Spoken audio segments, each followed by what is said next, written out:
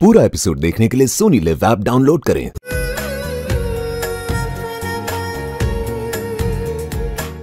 पल्लवी अपने कमरे से बाहर क्यों नहीं निकल रही है? उसने तो शादी का जोड़ा भी उतार दिया पर रोज़ाना के कपड़े पहन लिए। क्या बात है? नानी वही तो मुझे भी समझ नहीं आ रहा।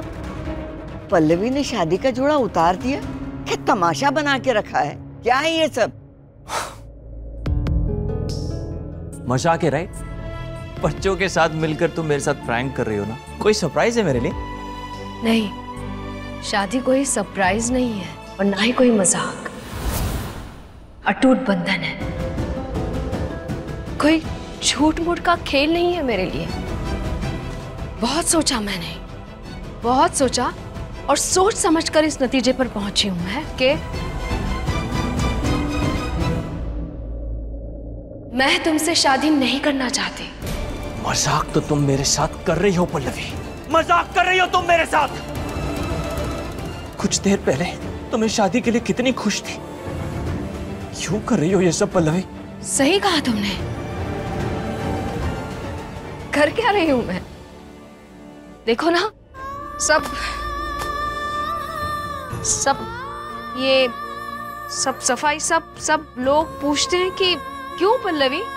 बच्चे भी पूछते हैं कि माँ हमेशा तुम घर की सफ़ाई ये चीज़ें संभालना अब क्या समझाऊं मैं उन्हें कि जो बाकी रह गया है उसे सहज कर रख रही हूँ सामान क्योंकि हमारा रिश्ता तो सहज नहीं है तो ये सब शादी के बाद अरे शादी के बाद क्या?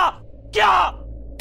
यही दर्द, परेशानी, चिंता स्ट्रेस यही सब तो दिया है मुझे इस शादी ने, फिर वापस क्यों? थक गई हूँ मैं। नहीं चाहती नहीं चाहती मैं और परेशानी। यही सोच सोच कर कि निखिल मेरे बारे में क्या सोचेगा? अब कौन उंगली उठाएगा मुझ पर अपने अस्तित्व को, अपने स्वाभिमान को, फिर से कैसे समेटूं मैं? इसलिए ये सामान समेट रही हूँ। अच्छा हुआ अच्छा हुआ जो किन्नू माँ के सामने सब सच आ गया। सब पता चल गया उन्हें। अब कोई दिखावा बाकी नहीं। पता है? पता है क्या एहसास हुआ है मुझे कि इतने सालों बाद आज़ाद हूँ मैं। अब अब नहीं झेलना मुझे ये सब। नहीं बनना उस खूटे से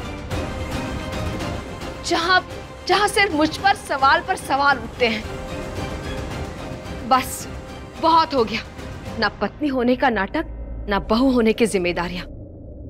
बहुत कर लिया मैंने।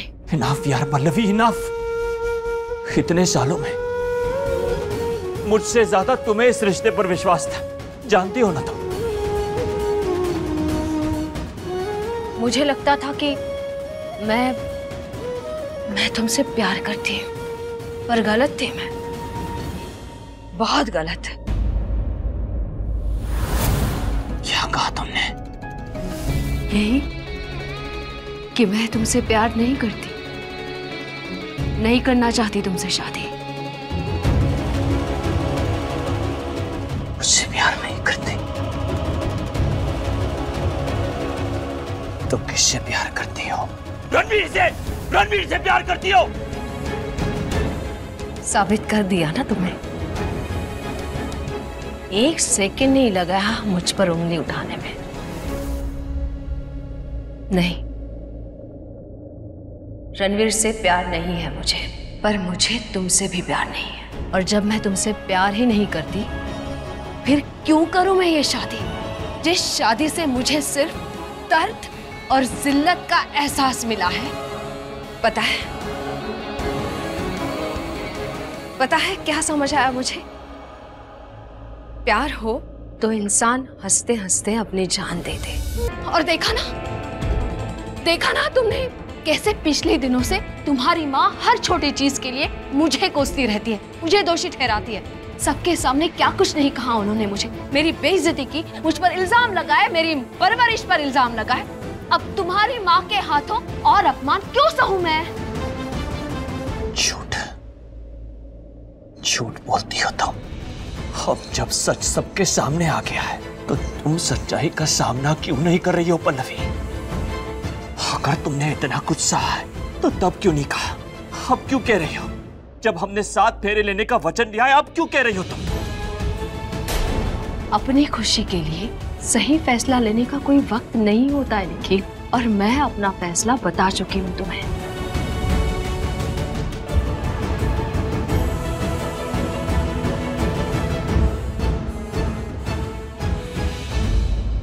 ये तुम्हारा आखिरी फैसला है।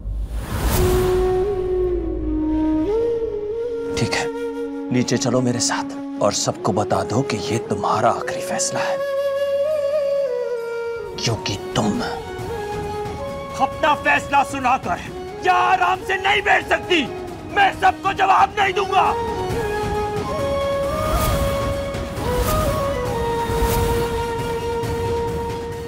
मैं पल्लवी को देख के आती हूँ। नहीं मासी मैं जाती हूँ दी के पास देखती हूँ क्या हुआ है। क्या हुआ? देख क्या रही हो। चलो मेरे साथ नीचे। और पंडित जी से कह दो कि यहाँ से चले जाए। कोई फेरे नहीं होंगे। सारे रिश्तेदारों से कह दो चले जाने के लिए। मैं तुमसे शादी नहीं कर रही इसका मतलब ये नहीं कि तुम सबको जाने के लिए कहा हो। क्या? क्या कह रही हो? मेरी मेरी कुछ समझ दी नीचे वो सब। और दी आपको इतने अच्छे से तैयार किया था अपने अपने कपड़े क्यों बदल लिए? सोनाली इस वक्त तुम यहाँ से जा सकती हो। नहीं सोनाली। रुक जाओ। अच्छा हुआ तुम यहाँ आ गए।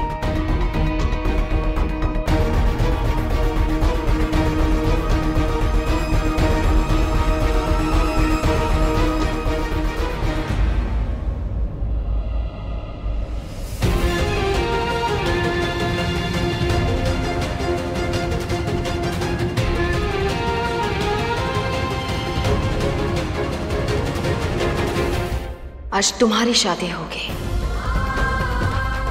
इसी मंडप में सारे मेहमानों और रिश्तेदारों के सामने।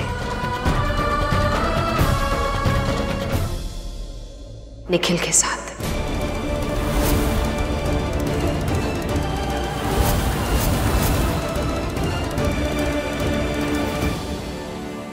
दी, दी आप क्या बोल रही हैं? हाँ, आप ऐसा सोच भी कैसे सकती हैं? दिमाग खराब है क्या तुम्हारा? समझ में नहीं आता मुझे। पहले खुद कहती हो कि शादी मज़ाक नहीं है। तो ये क्या है? सच। सच तो यही है ना, निखिल। कि सोनाली हमेशा से ही हमारी शादी और हमारी शादीशुदा ज़िंदगी का हिस्सा बनी रही है। तो अगर मैंने तुम दोनों की शादी का सोचा तो इसमें हैरान होने वाली क्या बात है? हमारे रिश्ते में हमेशा से ही तीसरे पहिए की तरह साया बना रहा है इसका। और इस बात से इनकार तुम भी नहीं कर सकते। बहुत कोशिश की मैंने इस बात को नजरअंदाज करने की कि मेरी छोटी बहन और तुम?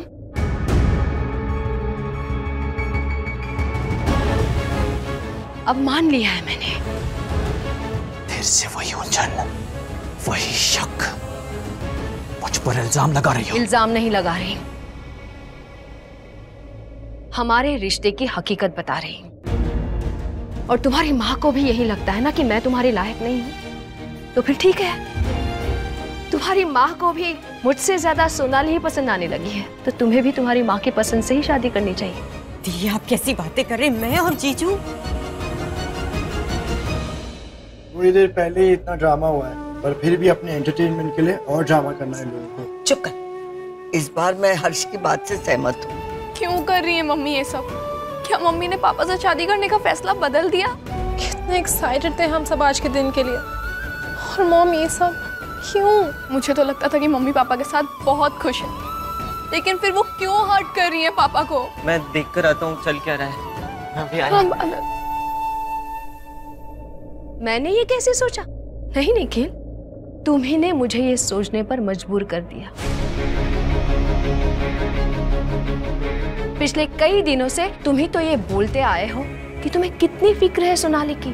उसके लिए अच्छे से अच्छा डॉक्टर लाना चाहते थे तुम। न्यूयॉर्क से डॉक्टर बुलाने के लिए तैयार थे। उसकी तबीयत ठीक नहीं है उसे नींद नहीं आती उसकी दिमागी हालत ठीक नहीं है इतनी ठंड में देहरादून कैसे जाएगी वगैरह वगैरह। तुम्हें तो उसकी बीमारी के बारे में सबसे पहले मुझे बताया था। वो घर से कहीं नहीं जाए यही चाहते थे तुम भूल गए। पूरा एपिसोड देखने के लिए सोनी लिव ऐप डाउनलोड करें।